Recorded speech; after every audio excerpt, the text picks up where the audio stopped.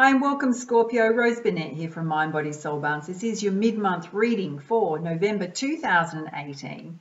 It is a general reading, so take from it what you will, leave what does not resonate. If you want a personal reading with me, attune your own energy and circumstances, I'll pop the link on this video and in the description box below. There is a coupon code running for November. You can get $15 off the 45 minute extended personal reading with me, or you can also use it on the two packages that include a reading and distance Reiki energy healing session. All the info on that is in the description box below. Go check it out. And uh, your coupon code is going to pop up in this corner in a second. All you need to do is take it across to the booking form, enter it when prompted to get your $15 off. Just remember it is case sensitive. And uh, just want to say a big thank you to all my subscribers. You're rocking awesome for your, uh, your likes, your shares, your comments, your subscribes. And uh, if you're brand new to my channel and you like this reading, hit the subscribe button. You'll get more great content from me. All right, Scorpio, we're going to do something a little bit different for this mid-month reading. We're going to do a nine-card spread on the past, present, and future, as well as your general energies over the next two weeks, everything you need to know, and some gorgeous crowning energies, including one from the Sacred Rebels deck on how to live more authentically. First up, I'm going to open your reading with some guidance from the Blue Angel Oracle. Let's see what you need to know, Scorpio. And don't forget to also check out your monthly one, which is a bit more extended than this one. All right, highest level of guidance, please, Scorpio. Oh, wow. Sagittarius also got this one. Beyond the Storm, Protection. Very beautiful. And uh, let me just pull up the guidance for you. And what it says, Scorpio, is storms will come and go and every dark cloud will clear. Beyond every storm there is a clear sky. The sun will shine once more. So look beyond the current situation. There is nothing to fear. For I, Michael, which is Archangel Michael, will protect you and keep you from harm. You cannot avoid the current situation, so let it come and go. There is nothing you've done to create it. Sometimes storms just appear. They are part of nature. They're also part of our human nature too.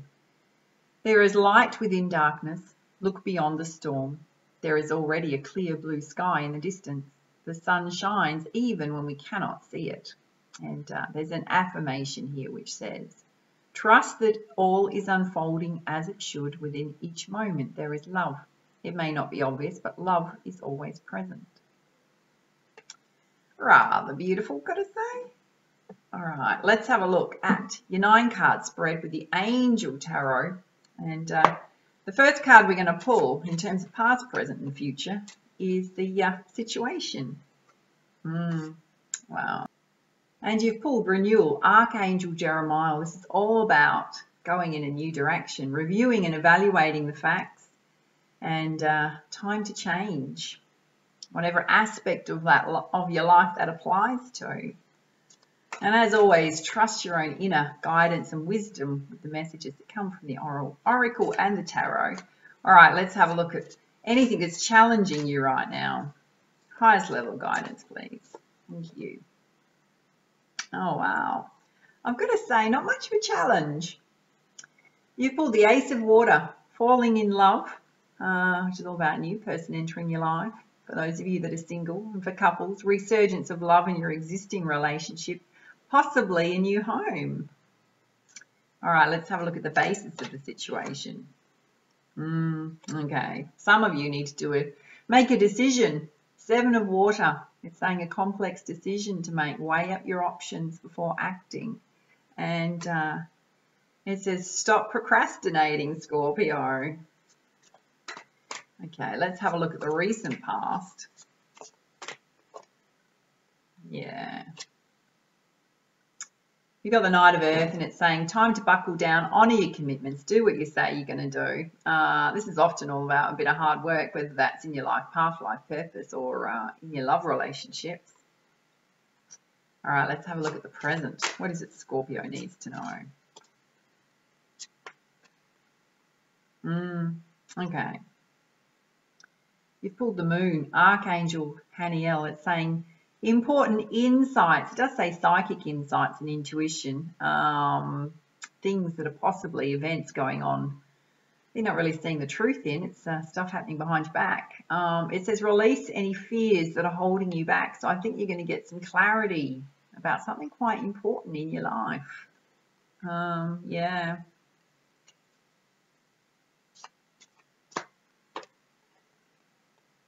In terms of uh, the near future, you've got uh, Archangel Ariel, the strength card. You've got great inner strength. Um, it's saying release harsh judgments about others, forgiveness and compassion. I'm getting the feeling that for some of you, quite a few of you, there's stuff to let go of from the past in order for you to move forward, but you're about to move forward. Wow. I think you might be seeing seeing things more clearly. All right, this is your energy in the situation. Pretty cool, I gotta say. Uh, it's saying receiving gifts of money for your time and your effort, uh, more security in terms of your finances, but it's also receiving a loan or paying off a loan, clearing some of those debts. Yeah. It Does also say new career opportunities coming your way. All right, let's have a look at the uh, impact of the people around you. Highest level of guidance, please. Thank you. Mm. You've got the Queen of Earth, and it's saying to make time for others, to um, deal with challenges in a kind and understanding manner, take a sensible approach. Mm, kind of, it kind of pretends to a bit of stuff going on in your relationships, yeah? All right, let's have a look at your hopes and fears. Yeah. You pulled the Five of Water and it's saying things not turning out how you hoped they would, crying over spilt milk, not seeing the positive in a situation. And often when we have challenges and they don't work out how we thought that they would, it's often uh, the universe nudging us onto a better path. Oh wow, gotta say, wouldn't worry too much because the uh, outcome is the Ace of Earth, the inflow of abundance promising you contracts, business ventures coming your way. How awesome. Directly related to your career and your life path, life purpose. All right, let's have a look at your general energies. I'm kind of super intrigued to what, what's going to come out because there's an underlying theme here um, in terms of possibly some undercurrents of uh, conflict or host, not hostility um, in terms of your relationships. Yeah, I think perhaps you might possibly some of you be leaving some relationships behind to move forward. Okay, let's have a look at the Goddess Guidance deck in, terms, in terms of your general energies for uh, the next two weeks. Covers whenever you're watching this reading. Mm, okay, the first bit of guidance you've got is to tap into divinity connect into a sacred space that means something to you. For me, it's out in nature. Um, if you're on Instagram, follow me on Instagram because I take you on my walks and my hikes and uh, I do a lot of inspirational, motivational stuff on there. Um, I'll put my handle on here, but uh, Nemetona Sacred Space, it's about creating a sacred space at home or connecting into a place where you can tap into your own divinity, talk to your angels, release any stresses or worries out to the universe, manifest. I was out this morning and uh, if you don't know, my animal spirit guide is the eagle. And right at the end of my walk, I've got two eagles flying above me. So beautiful. Mm. And uh, you pull Bright Future Lakshmi. It says, stop worrying. Everything's going to be fine. I'm going to say to you, there's some, some divine timing happening in your, uh, in your career and life path at the moment. Yeah. This is your second card for protection. It's Artemis, the guardian. You and your loved ones are divinely protected at this time. So no matter what's going to come up for you, just know that you're going to be protected. Mm, yeah. God, I've got an absolute feeling there's going to have to be some relationships that get smoothed over, over Scorpio, or you're going to just have to apply some extra love, compassion this month with the people in your circle. Mary Magdalene, unconditional love. Love yourself and others, no matter what's going on. Um, basically, is an indication that if people are going to be a little bit funny in terms of, um, you know, disagreeable or emotional, is that you don't know what they're going through. So just be compassionate. Yeah, I so saw this.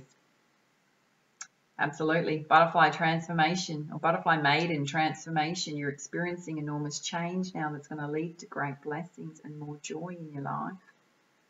Absolutely. Don't hold yourself back. Don't let anyone hold you back. Okay. Let's have a look at the crystal guidance and see what comes out for you, Scorpio, which covers all aspects of life. Mm. Uh, you've pulled chrysotile animals, and uh, this basically means that you've got uh, a really good connection with animals. You can intimately understand animals. Can mean that you're a protector of animals, or your animal spirit guide is going to show up for you in the next two weeks. Mm -hmm. Mine shows up for me regularly. Sometimes the universe surprises me, you know, because I can be walking along my walks and um, you know, I can share with you, I get stressed out just like everyone else, but I've learned how to balance my emotions out. Yeah. And I was walking out this morning, just letting a few frustrations out. I won't tell you about what, but, and the universe has gone like, oh, hello. she's been doing that for way too long. Let's give her a couple of eagles. That will take her mind off it. Well, it certainly did. You've also got rose quartz inner child. Um, it's directly related to your bright future tapping into what you're most passionate about, what has meaning for you. It can also mean bringing more fun and adventure into your world, Scorpio, your time off. Mm. Wow, this is interesting. You pulled Lapis Lazuli, past life. It's sitting directly under the second card for um, be divinely protected at this time. Guardian over you. Um, I'm going to say some of you have had many, many past lives and uh, you might get an awakening to your divine gifts and talents. But what I'm feeling here is that you've got some um, angels and spirit guides that have been watching over you for quite some time. Mm-hmm. And uh, if you don't know, apart from reading the uh, tarot and the oracle, I also do energy healing. So uh, distance Reiki energy healing, and I can tap right into people's soul lights, one of my divine gifts and talents, and have a look at past lives. Um, that's really interesting how that combination's come out people say to me, oh, I don't have any guardian angels. Oh, believe me, I can see them. Mm -hmm. I can see them. Oh, gorgeous. Going to say everything's leading you to success, orpiment. Um, in terms of relationships, for you to smooth them over and for them to be successful, you've got to apply unconditional love. Yeah, um, absolutely. But uh, just know you've also got success coming. I'm going to say it's directly related to your life path, life purpose, your money, your abundance. You've got to work for it though. Don't expect it to drop in your lap. And uh, you've also got Hiddenite gratitude. This is directly related to transformation. So I'm going to say whatever challenges that you've gone through, there's been lessons in there that have allowed you to recognize things about yourself that's going to lead to growth. Just be grateful for those lessons. Um, often the challenges can give us that sense of gratitude when we realize how much they've helped us to uh, grow more. Uh, yeah, when you grow more, you're naturally more successful. Let's have a look at the uh, energy oracle in terms of specific guidance, Scorpio. Oh, this one's so what's come out for you. Oh, yeah. I'm so not surprised this has come out. Storm warning. I'm going to say this is in your relationships. Just know that storms pass. Um, hello beyond the storm, protection, just know it's coming. Um, you've got a heads up Scorpio in the next two weeks. Um, it'll pass.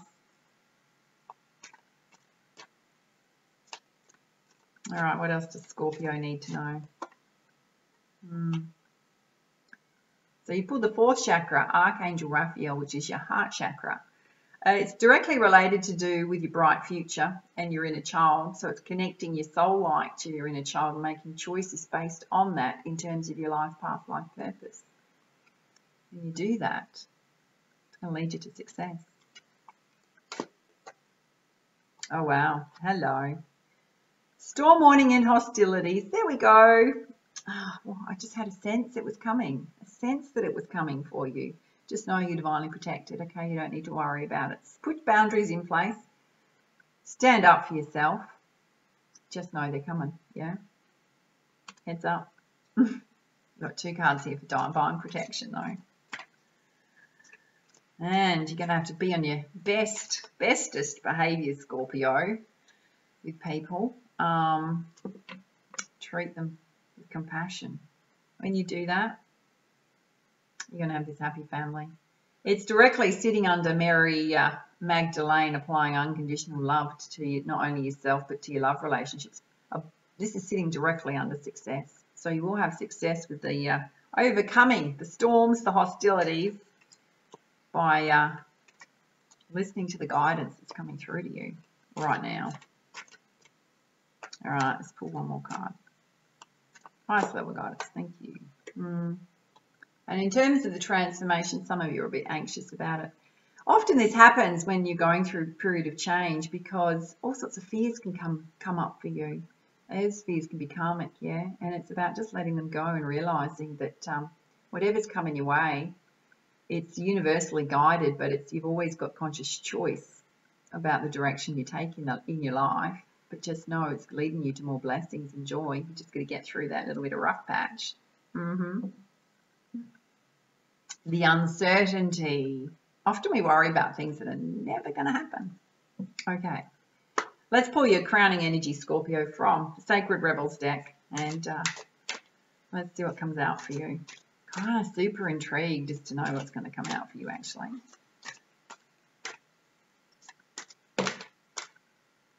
Wow, this is interesting. You've pulled. Come to life. She's actually got a paintbrush. She's painting herself. There's a, I'll show, I'll bring it up close because it's, it's, really cute. There's a little monkey holding onto the paint pot. Although it does look like she's painting herself with honey. I don't know if you can see that. Um, yeah. And it looks like there's a crow on the shoulder. Not sure that I like quite like crows, but anyway. Um, all right, let's pull the guidance up for you. This has actually, this card's not come out before. So um, this is a new deck. All right, Scorpio, what it says is, you are the most sacred of all sacred artworks. You are bringing yourself to life now, and this is how it must be. Of course, something being essential doesn't mean it will always be easy. You must support yourself and have courage during this process. Your monkey mind is not to run the show. Oh, that's why there's a monkey in the picture. It might have a lot to say and at times it can be very convincing, but it's not the one in charge. Your mind can inspire you with ideas. However, it is the real you that speaks through your rebellious sacred heart and is living your life, not the monkey mind. The mind is not much more than a swirling cacophony of habitual reactions. Beyond habitual thoughts, there is a deep, sensual, creative, and energetic awakening happening to you. It is so far beyond what the mind is capable of controlling. Others might not like it because it shakes things up. Here we go. Coming to life tends to do that. However, it is happening now, and the only real choice you have to make is how to deal with it. Coming to life means feeling. It can, might bring joy, but can equally bring sadness, rage, or fear. It could bring all of these and more. Feelings will come and go quite swiftly when allowed to flow. You might need to paint, write, enact rituals, sing, or dance your feelings to help the energy flow. Don't hold back. Create the space for yourself to do it. In this process, you are uncovering the artistry of the universal creator. You are honouring the sacredness of life by exploring it without restraint, and that includes the flow of your feelings. You don't have to do anything with them other than express. You might want to analyse or you may not. It doesn't matter. What matters is that you are getting in touch with feeling, learning how to access your feelings allows you to learn how to access your intuition, your creative inspiration, and genuine internal guidance.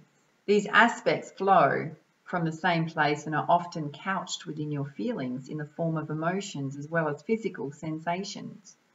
The journey underneath the mind and into essential emotional connection with your feelings, emotions, and bodies of for a sacred purpose. It is part of your path. You are one of the sacred but powerful minority that have chosen to come into a body and live consciously within it. That may seem like it applies to everybody, but when you experience it for yourself, you will realize that it's actually rather rare.